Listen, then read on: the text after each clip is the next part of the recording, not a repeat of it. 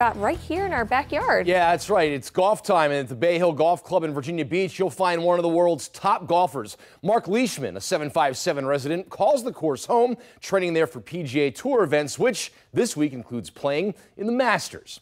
Leishman is in the midst of his 10th trip to the Masters, his best finish taking place in 2013 when he finished tied for fourth. His last trip to Augusta National, also impressive, tied for a fifth place finish back in 2021.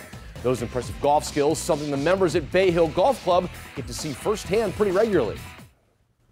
Watching a world class player play in your own backyard is pretty exciting. He's become such a part of the, the fabric of the community in general, as well as the club, that it, and he's so easy to talk to. He really is just, you know, a regular person, if you will. Um, and then when you see him hit a golf ball, you realize how special an athlete he is. Leishman has made the cut in five of his Masters appearances, and if the current leaderboard remains, he'll compete for the green jacket.